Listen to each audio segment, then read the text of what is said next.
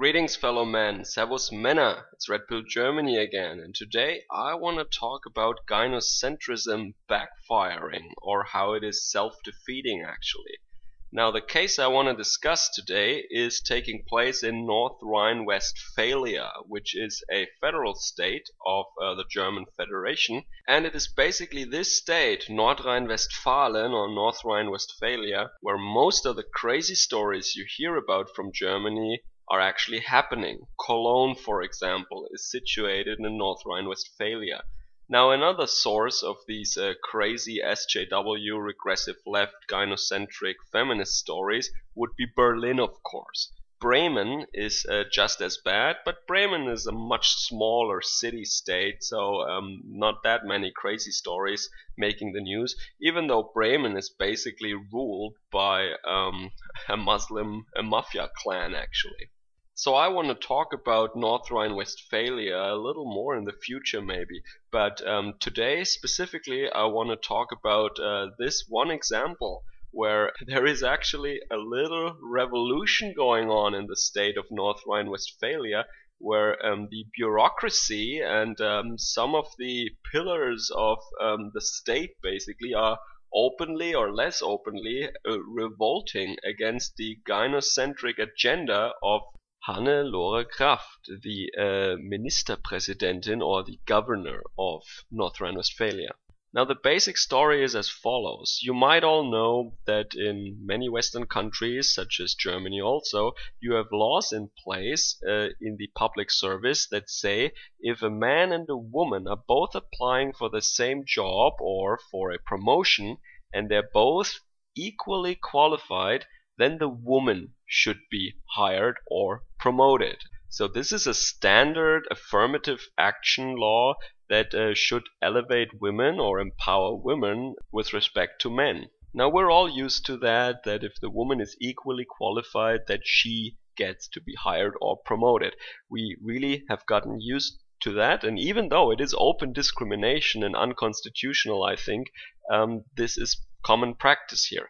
But that didn't go far enough for the cabinet and the leadership in North Rhine-Westphalia. Um, as you can see on the pictures, maybe there are a lot of crazy, unattractive women in uh, the government there, and um, they noticed that in some branches of the state, such as the police force or the firefighters or the um, tax and financial administration also, there is just no 50-50 between men and women in leadership positions, even though you have these gynocentric, women-favoring uh, laws, as I just mentioned. So last year they decided to go one step further. Now they changed the law and a woman is given um, the promotion or the job, and not only if she is equally qualified to a male competitor, no, if she is basically or generally equally qualified. So what that should mean and what they say it should mean is actually,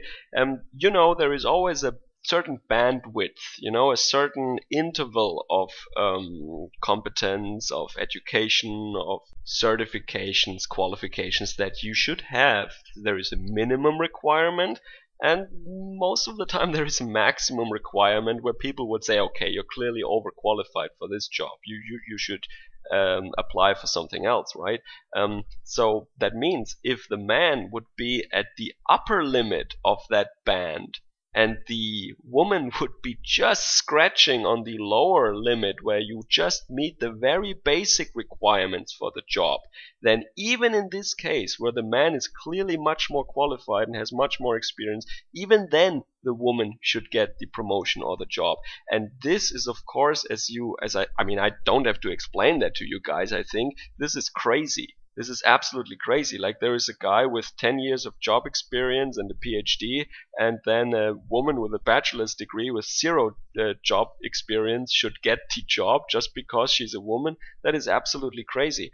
And um, this is not some um, gender studies office or some um, family blah blah blah. No, this is police. This is um, financial administration, tax administration, vital, important, hardcore um, domains. You know where the survivability of the state, where the interest of the state uh, in hardcore disciplines, where you need actual tangible skills is affected.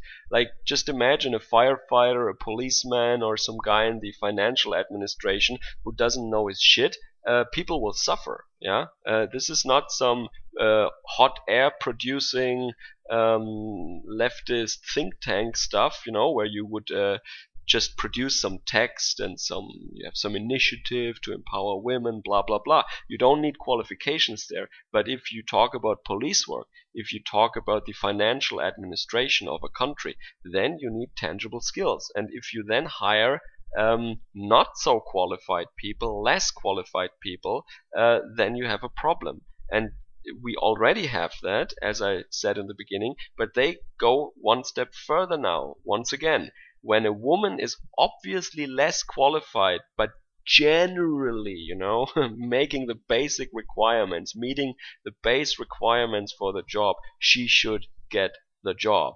And now the administration is in open revolt. There were several officers, male officers, who um, sued against that, and um, people fear that there will be a deadlock for uh, both uh, promotion in the public sector in uh, North Rhine-Westphalia and also there will be a big legal battle that could go uh, through uh, all the um, instances. It could go up to the Constitutional Court actually, the Supreme Court equivalent basically.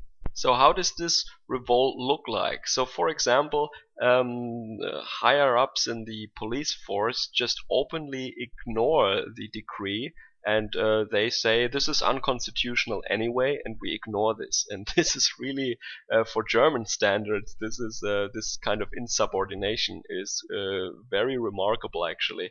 And uh, the financial administration, for example, what they did, um, they just before that law was enacted, they um, um, promoted over a thousand men, you know, to fill up all these positions, you know, and uh, they are really um, uh, anxious now because uh, several hundred highly qualified men have been um, relegated for hundreds of positions uh, downwards on the uh, promotion lists, right? So there is a list, and you you you go ahead to the top on these lists and when you're on the top you get promoted.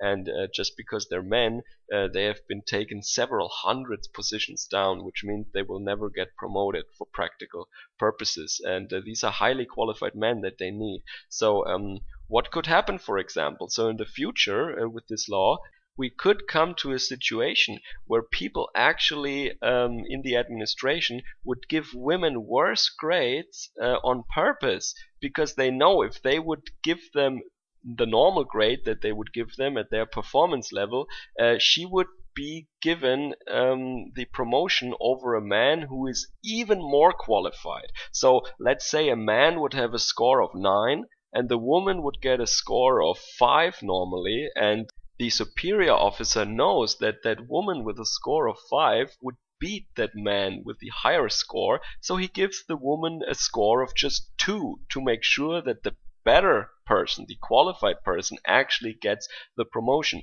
And that would hurt that woman if she wanted to make a lateral move, for example, in the administration, right? She would get a lower grade than uh, she actually would earn. And the other thing is then that um, women would be uh, struggling more than today, even with the um, stigma of being a woman uh, that we call Quotenfrau. That means quota woman or affirmative action hire basically. So uh, if a woman is in a leadership position everyone would say oh she's just there because she's a woman. She doesn't really know what she's talking about. Without these affirmative action laws she wouldn't be in that position but a man would. And if you make these uh, laws even more um, stacked up and discriminating against qualified men, then of course this discourse, this narrative, and this idea or this um, suspicion uh, about the woman being only an affirmative action hire will get much much stronger right? So there are actually highly qualified women, of course, who would in a meritocratic system also make their way uh, through the ranks, right? And those women are now also um, opposing this legislation. Said, I mean, I don't want to be lumped together with all these unqualified part-time chicks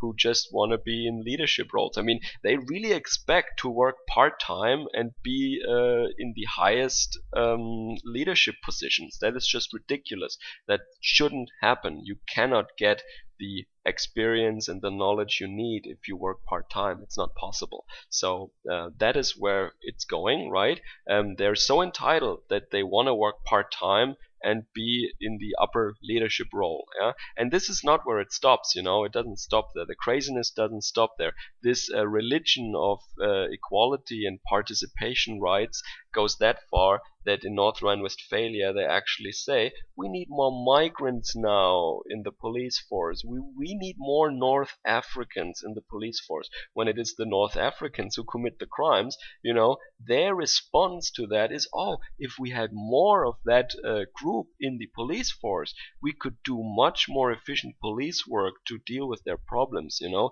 So they see these aggressive criminal communities as allies in solving the problems and not as the source of the problem or the adversary. And so their response to criminal migrants is promote them to be chief of police basically. That is their answer. It's, it's absolutely crazy. And um, now we're in a situation as i said where already the good party soldier uh, administrative uh, management elite is rebelling against the course of the administration in North Rhine-Westphalia. And there is a big legal battle ahead of us and um, maybe this government which is already the second government under Hannelore Kraft, so we call it Kraft 2, the second cabinet. And with all this unrest and with all this, um, yeah, also financial disaster, but also a disastrous security situation in that state, it is highly unlikely that she will get a third term. So um, maybe especially in North Rhine-Westphalia, um, even um, more established migrants, like people from the Balkan and some Turks, uh, might vote against her now because this level of craziness would probably go too far even for them. So this is an example how gynocentrism uh, can backfire not just in itself when women hit the wall or when nature or karma basically uh, demands its pound of flesh, but um, also in a hierarchy um, when you go too far uh, with trying to um, uplift or to empower um, irresponsible, weak, and parasitic uh, groups, the people who actually have to get the job done in the end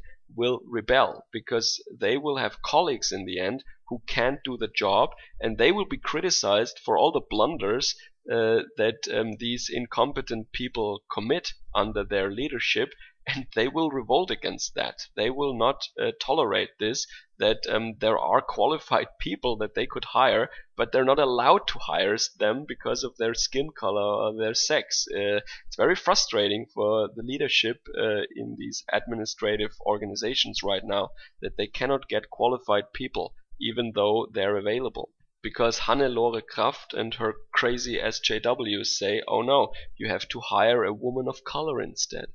And then you have to substitute a uh, 50 year old PhD in economics who maybe has 30 years of experience under his belt for a maybe 23 year old bachelor's in gender studies, right? This is not to be tolerated by the administration in Germany. And um, I heard uh, that in reactionary circles, or neo-reactionary circles actually, this uh, part of society is called the cathedral. So the um, administration, the people who uh, run everything, who manage everything, not the political leadership really, but um, the bureaucracy basically. Also teachers, policemen, administrative officers, the people who make the system run basically. And uh, they are revolting now in North Rhine-Westphalia. The people who sued were police officers, for example. The people uh, more upwards in the hierarchy um, are also um, ignoring these orders, these decrees now, and uh, they just say, well, it's unconstitutional. I ignore that stuff, right? Or they just grade women differently because they know that uh, if they grade them fairly, um, the more qualified men will not get the job. Or uh, another option is also that the job description is written so detailed and so specialized that only the one um, person you already have in mind uh, meets the requirements and uh, another person really can't. But um, that really means that uh, outsiders don't really have a chance anymore because if you want to have a qualified person and not some affirmative action uh, lady, uh, you actually have to already years uh, in advance build up your candidate and focus on this one and uh, make sure he has the skills you then write in the job application or in the uh, description of what you want so you make sure that only this one person can meet these requirements which then leads of course to a more closed stagnant system and which also hurts us in the long run. So I think there are only losers here, um, but the biggest losers are of course the uh, people of North Rhine-Westphalia because this is one of the beauties of uh, federation. Uh, we have competition in Germany between the states, and in Bavaria we're not that crazy. Uh, we're still crazy enough, but not that crazy. So uh, people who actually want to do good work they can uh, come here. You know, they can come to Baden-Württemberg, they can come to Thuringia, they can come to Saxony, they can come to Bavaria, and many of them do actually. It just annoys me that they bring their SJW mentality to our southern states or to the eastern states, and they vote in leftist governments then there. So um, they should really meditate on that one. They should think about why they came here as economic migrants basically, why our system is better, why we have more jobs, and not bring their voting patterns to our more conservative states. But that is a topic for a different video maybe. So um, yeah, let me know about what is happening in your country as always in the comments and I hope you enjoy your weekend. Servus, Kameraden!